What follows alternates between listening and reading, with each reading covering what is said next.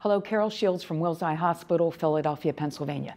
Can you name me some syndromes that can lead to the development of uveal melanoma?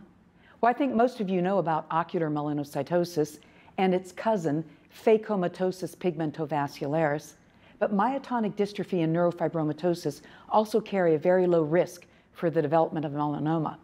And now there's a new syndrome, BAP1 cancer predisposition syndrome. This syndrome was described in 2012.